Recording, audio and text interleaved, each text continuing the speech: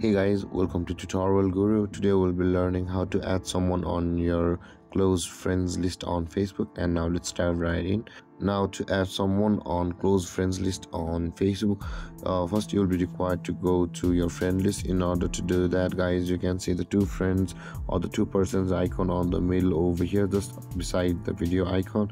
Tap on over there and you will be on this list. And at the top of the list again there is the your friends tab available for us. Just beside friend request.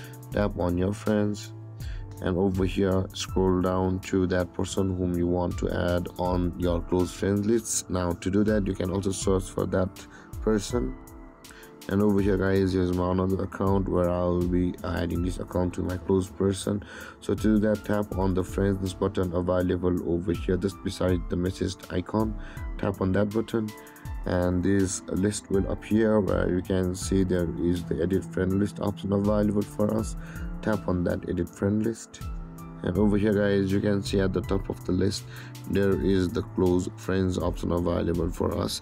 Tap on that close friends option and the moment you tap on it a blue tick mark will appear at the right side of that option which means that the person or this person has been added to close friends on your facebook account. And guys this is how you put someone on or how to make close friends on facebook. And if you have any confusions or questions regarding the topic feel free to comment in the comment section below and don't forget to like subscribe and hit that bell icon for more videos. Thank you for watching guys. Peace